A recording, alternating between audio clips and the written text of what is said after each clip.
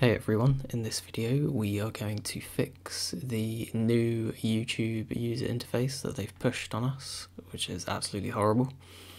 Uh, so first things first, you need to be using a Chrome based browser.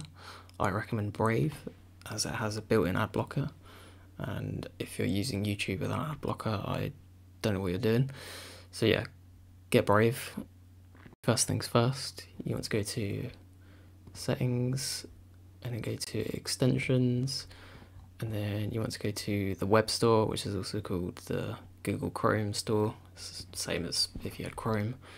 And you're going to want to install uBlock Origin.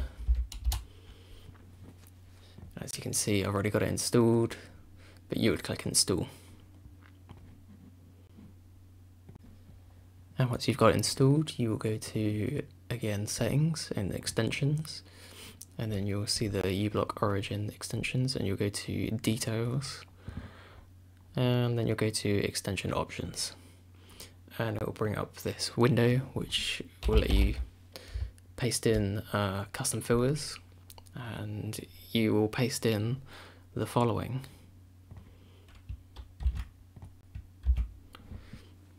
And hit apply. I will put this in the video description and also in the comments. Um, and yeah, as you can see, let's go back to the video and hit refresh. And as you can see, everything is back to how it was. Videos on the side, uh, normal size, and comments at the bottom, and description at the bottom. That's it. Thanks for watching. Hey guys, whilst I've still got you here, I think it's a good idea if we all give YouTube um, the feedback that we do not like the new UI, and hopefully they will revert it.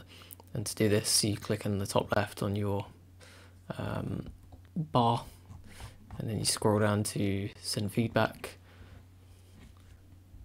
and this will come up, and you can say your new UI sucks but make it more legit obviously and then you can hit send